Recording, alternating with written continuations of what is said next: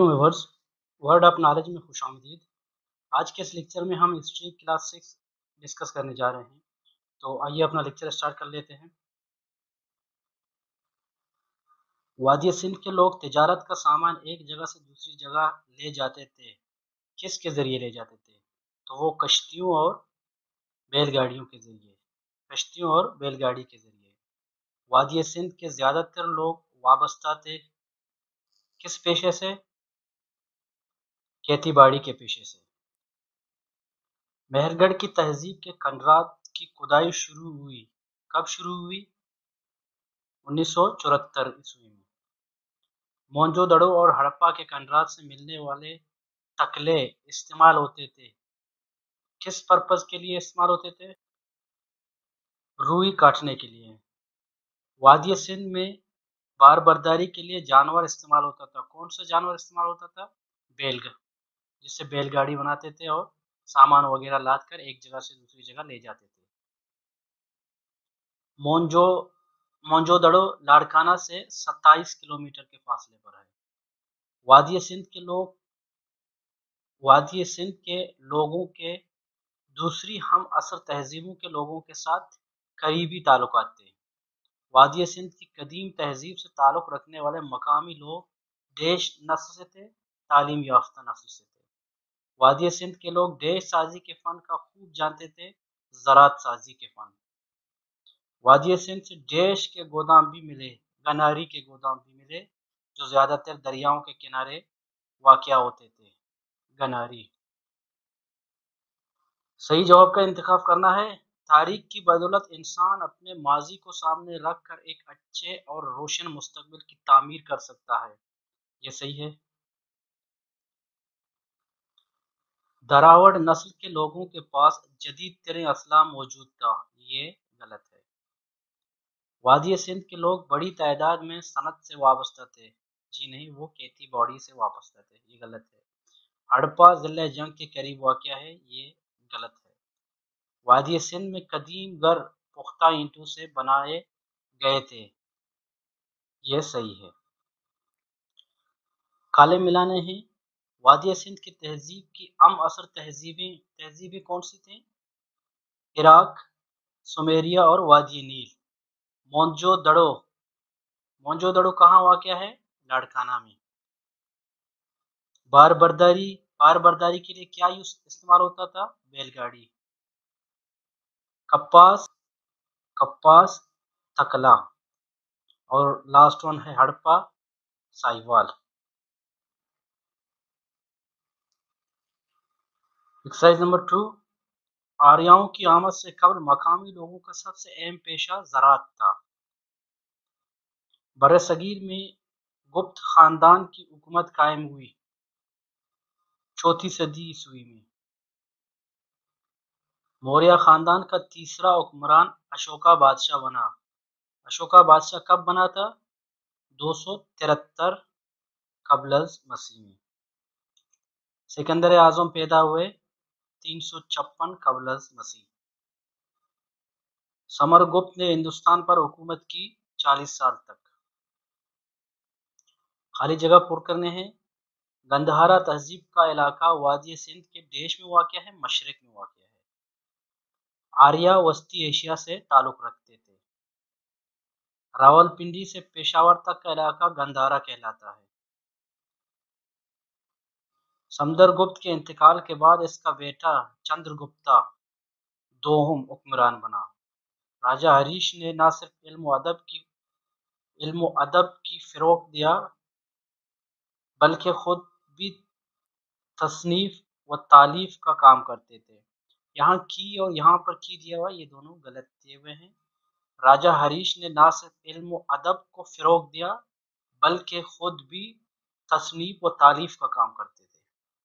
Right and wrong की निशानदेही करनी है। 335 कबल मसीह तक हिंदुस्तान से यूनानियों के कब्ज़े का अख्ताम हो गया। यह गलत है। छः में हर्ष की वफात के बाद, वफात के साथ ही इसकी हुकूमत के टुकड़े टुकड़े हो गए। यह सही है। बुद्ध मत में किसी भी जानदार को नुकसान पहुँचाने की इजाज़त नहीं। ये भी सही है। आर्या अमन पसंद लोग थे। ये गलत है। बुद्ध मत के बानी का नाम महात्मा गौतम बुद्ध था। ये सही है। काले मिलाने ही टेक्सला रावलपिंडी से कितने फासले पर है? रावलपिंडी से 40 किलोमीटर के फासले पर। आठवीं सदी ईस्वी में रियासत बंगाल और बहार, रियासत बंगाल और बहार पर पाल खानदान ने कब्जा किया। चंद्रगुप्त अवल 320 में पटना में तख्त नशीन हुआ। आर्या लोगों के पास, आर्या लोगों के लिबास आमतौर पर आमतौर पर सूती या ऊनी होते थे। And the last one Chandragupta दोहम करीबन 38 साल तक हुक्मरान रहा। ये इनका सही पेयर है। एक्सरसाइज नंबर तीन, सुल्तान शमसुद्दीन अल्तमश का गुलाम था। कौन था? बलबन। रजिया सुल्ताना के भाई का नाम था बहराम शाह। मंगोलों के सदेबाब के लिए पॉलिसी मुरतब की किसने? गयासुद्दीन बलबन ने। मोहम्मद बिन कासम ने सिंध पर हमला किया 712 ईस्वी में। कुतुबुद्दीन ऐबक का दौरे हुकूमत है चार साल। खाली जगह फिल करने हैं सुल्तान गयासुद्दीन बालबन ने देश की बागियाना रवश को ख़त्म करने के लिए इकदाम किए तो रईस। महमूद गजनवी ने बर सगीर पाक व हिंद पर देश बार हमला किया सतारह मरतबा। सिंध की अहम बंदरगाह का नाम दीबल था। मोहम्मद गौरी ने तराइन की दूसरी लड़ाई में पृथ्वीराज को शिकस्त दी। सुल्तान शमसुद्दीन अल्तमश देश नस्ल से तारुक रखते थे, तुर्क नस्ल से। राइट हैंड रॉन्ग की निशानदेही करनी है। मोहम्मद बिन कासुम हज्जाज बिन यूसुफ का बेटा था, ये गलत है। भतीजा था। दस छब्बीस में मोहम्मद गजनवी ने सोमनाथ के मंदिर पर हमला किया, ये भी गलत है। जब मोहम्मद बिन कासुम सिंध पर हमला करने के लिए रवाना हुए तो इस वक्त इसकी उम्र से 20 साल थी, ये भी गलत है। सुल्तान अल्तमश ने मफतुआ इलाके में एक ठोस निज़ाम कायम किया, ये सही है। सुल्तान नासिरुद्दीन महमूद ने बारह छियासठ ईस्वी में वफात पाई, ये भी सही है। खाले मिलाने हैं। महमूद गजनवी महमूद गजनवी बुद्ध शिकन सोमनाथ चाँद देवता। पृथ्वीराज शहाबुद्दीन गौरी राजा दाहिर, राजा दायर एक जालिम हुक्मरान था। और Muhammad bin Qasim, Hajjaj bin Yusuf. Exercise number four Sultan Jalaluddin Khilji ने निज़ाम हुकूमत संभाला कब? बारह नब्बे में। गयासुद्दीन तुगलक का असल नाम था गाजी मलिक। अमीर तैमूर तुर्क ख़ानदान से ताल्लुक़ रखता था। ये सही है? बरलास, तुर्क के बरलास से। बरसगीर में सैयद ख़ानदान की हुकूमत की बुनियाद रखी। किसने? खजर खान ने। लोधी ख़ानदान का पेशा था तजारत।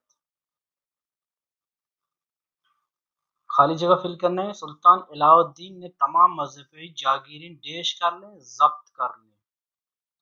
सुल्तान मोहम्मद बिन तुगलक सन देश में तख्त नशीन हुआ 1325 1369 में बाप की वफात के बाद देश कबीले का सरदार बना अमीर तैमूर। सादात खानदान के बाद लूधी खानदान को उरूज हासिल हुआ एंड गुजरात के गवर्नर मुजफ्फर खान ने तेरह छियानवे में सूबह गुजरात की खुद मुख्तारी का ऐलान किया। राइट एंड रॉन्ग की निशानदेही करनी है। पॉइंट वन है, अलाउद्दीन खिलजी ने माशी असलाहत नाफिज करते हुए कीमतों के तयन का निज़ाम कायम किया।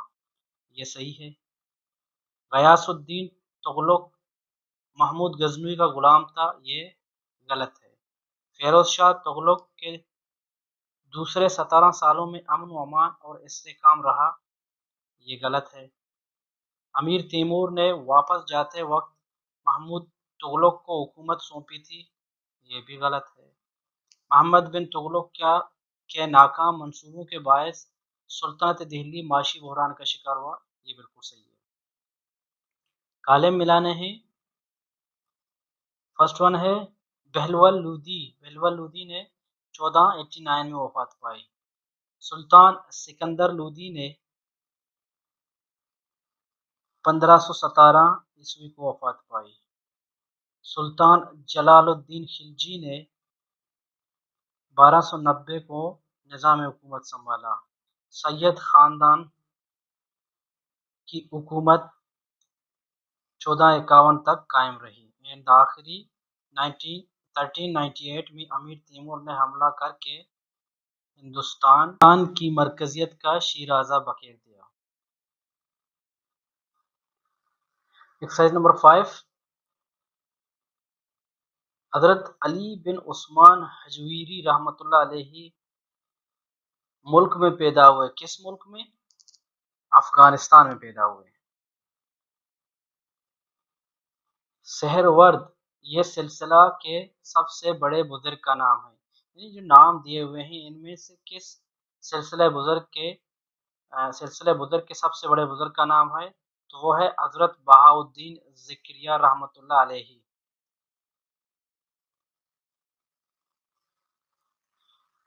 लाहौर की बादशाही मस्जिद मुसलमान हुक्मरान ने बनाई। किसने बनाई? तो ये औरंगज़ेब आलमगीर ने। सलातीन दिल्ली के मरकजी इंतज़ामी ढांचे में फ़ौज से मुतलक महकमे को कहा जाता था। फ़ौज के महकमे को दीवान अर्ज़ कहा जाता था। सलातीन दिल्ली के दौर हुकूमत में सूबे का मुंतज़म आला कहलाता था। वाली या गवर्नर।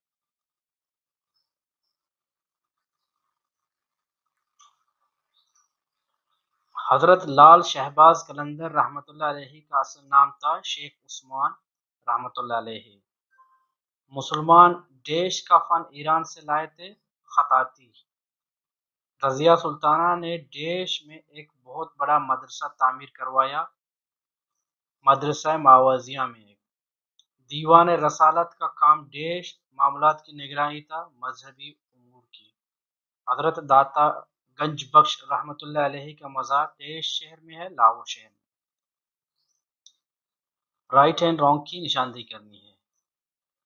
सलातीन दिल्ली के दौरे हुकूमत में सूबे के इंतज़ामी तौर पर सबसे छोटे इकाई तहिया या गाँव कहलाती थी। ये बिल्कुल सही है। दीवान वजारत का महकमा मजहबी उमूर का निगरान होता था। ये गलत है। सलातीन दिल्ली में बलबन, खिलजी और मोहम्मद तुगलक ख़ास तौर पर मौसीकी से लगाव रखते थे। बिल्कुल सही है। हज़रत बाउद्दीन जक्रिया रहमत की वफ़ात मुल्तान में हुई, ये भी सही है। मस्जिद मस्जिद कबूतल इस्लाम को अलतमश ने दिल्ली में तामीर करवाया, ये गलत है। काले मिलाने हैं।